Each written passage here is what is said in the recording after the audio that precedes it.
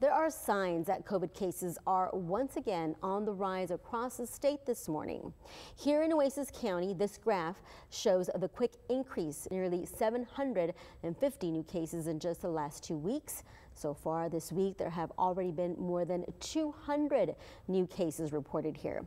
While new subvariants do appear to be more contagious, they do not seem to cause more severe illness than their predecessors. And still, all of this is something to think about as you are making your summer plans. Now with, even though school is out, we do have camps. And so that's an easy way to spread. Um, so if anybody's symptomatic, they should stay at home. Along with that, Dr. Kim Onufrak says that if you have symptoms, make protecting others a priority since you do not know whether they may be immunocompromised.